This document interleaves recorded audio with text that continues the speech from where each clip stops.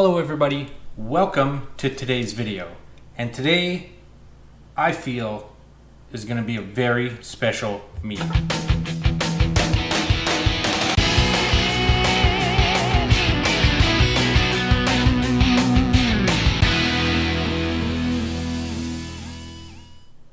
Okay, so a little bit of background first. But back in March, I self-published my very first novel, the first in a series called, well, The Death Blossom Saga. And the first book is called To Save a King. Actually, here it is right here. Like I said, it's the first in a series. It is available on Amazon in ebook, paperback, as you just saw, and on Kindle Unlimited. So if any of you are interested in like vampires, dragons, uh, magic, all that kind of stuff, why not go check it out? I'll add the link to it in the description below.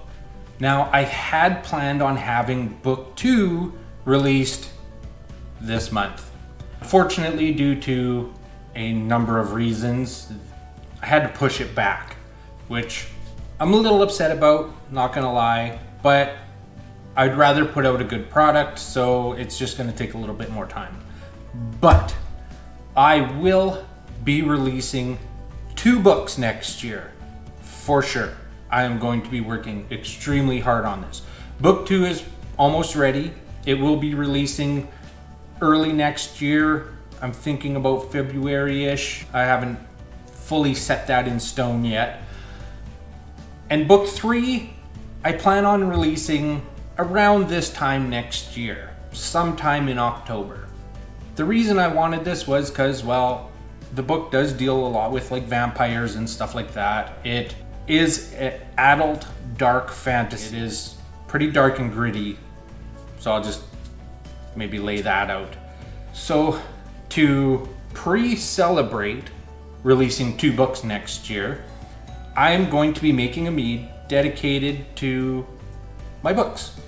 And I'll basically, we'll make it today and come time for the book release of book three, I will be cracking open a bottle. I'll do a tasting video for you guys and show you what I got. So there's that. And yeah, I guess let's get to making this mead. So the mead we're gonna be making today, we're gonna end up calling it Vampire's Blood uh, in honor of my books. It does, like I said, deal a lot with vampires and stuff. Like a, basically think vampire apocalypse in a fantasy world. So obviously for this mead, I needed it to be really red. And I wanted something a little different. I was gonna do like cherries or something, but I kind of wanted to go a different route. And then I thought, you know what, this is the perfect time of year to make a mead with my two favorite fruits. I guess the stars of the show for today are, you can't really see it, it's in a bowl here, but, and they are, these were frozen and then thawed, but try to get a good one, but raspberries and good old pomegranates. So that's right, we're gonna be making a pomegranate raspberry mead. So pomegranates, they are my number one favorite fruit. So first thing first, I'll show you the best way to cut open a pomegranate and get all that fantastic juice out of there. Because this will be our base. So first off, you need a knife. Paring knife is good. It's been sanitized and everything. Now you see the top here, you want to kind of cut in at an angle. Just kind of go around. Pop that off. Now you want to make just a light cut all the way around. Don't go too deep or you're going to end up cutting the little globes, I guess. I don't know what you call them exactly. And then you're just gonna simply pull it apart. Look at that. Nice and simple. Look at that. They're like little gems. They're just fantastic. Mm. There's hundreds of these. So that's a lot of juice in there that we need to squeeze out. So the next step we're gonna do is we're gonna set this off to the side. We're gonna reach down and use some POM juice. Um, yeah, this is 100% pomegranate juice. According to the back, it's juice from 12 California pomegranates. So yeah, I've got a couple of these. And I will be using some actual pomegranate uh, globes, whatever, some actual ones with the seeds and everything. But I froze them first because that'll help the yeast uh, break them down and everything. And I just threw them in a Ziploc bag. There's a bunch of juice in there already. And then I'm just gonna kind of crush them with a rolling pin.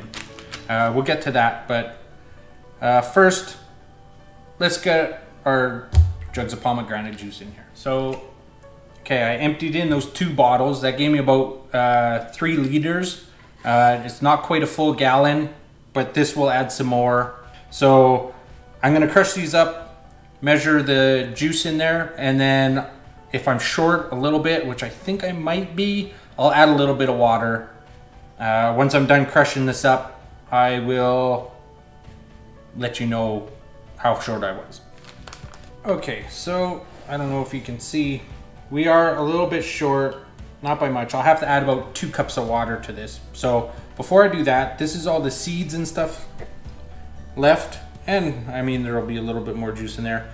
I'm going to just add this into my little baggie here uh, that has my raspberries in it. Uh, now I should note that it was two of the 1.4 liter jugs of the pomegranate juice and this was another like one pound 13 ounces of uh, pomegranate seeds. Uh, these I'm gonna add to the raspberries. For now, I'm just using, it ended up being about one pound, 12 ounces of raspberries. Uh, this is gonna go into primary. Once I'm, once it's done fermenting and stuff, I'll rack it over to secondary. I will have a little sample and I might add some more raspberries in secondary uh, just to see, but I will keep notes and stuff and I will keep you guys informed on that. So let's add this to here. Okay, so we have our juice in there. Uh, now I'm gonna add my honey.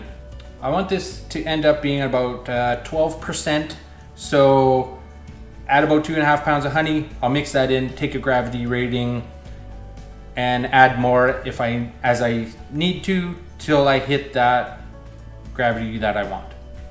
Okay, confession time. While I was adding my honey, I had a little bit of an oopsie and I dropped the honey into the bucket. And when I pull, was pulling it out, I squeezed it and more went in there than what I wanted.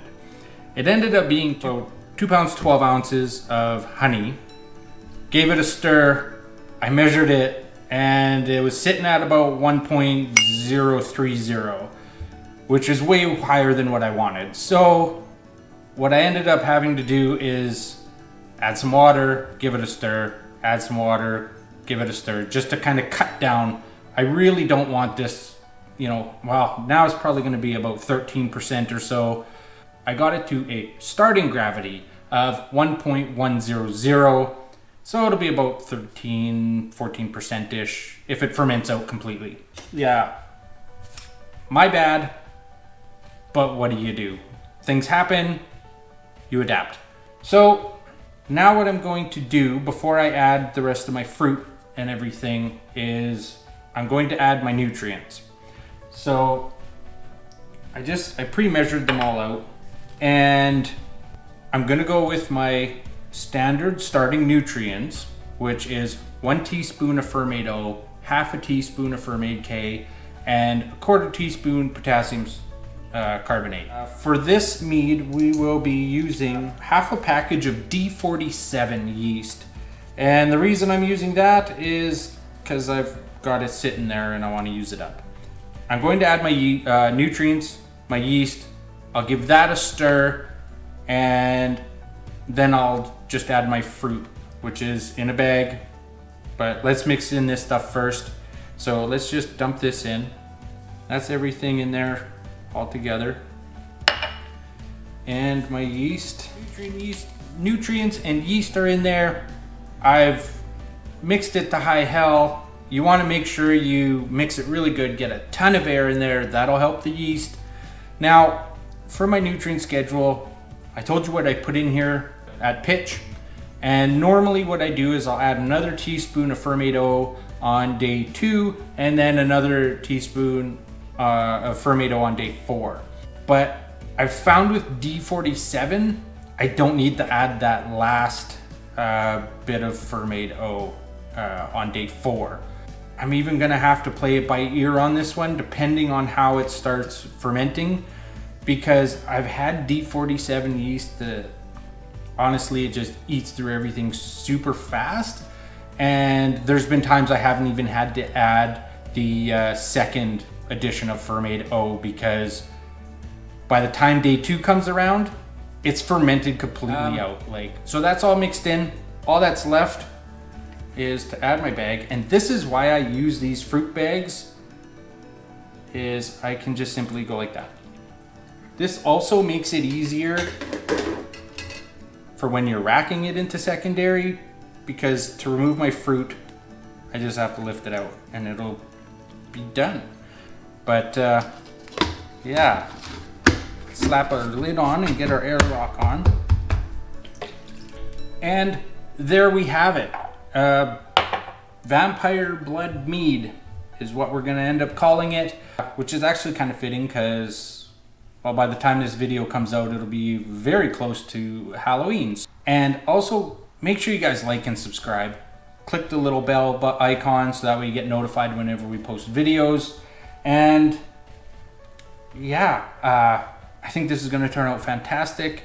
And like I said, if you're interested, click on the link down below or go search it up on Amazon.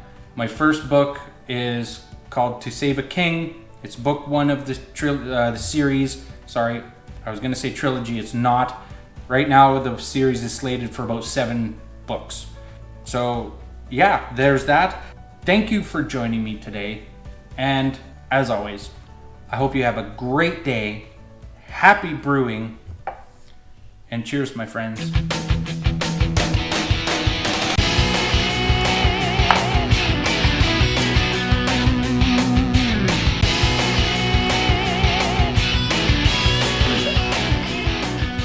I love this shit.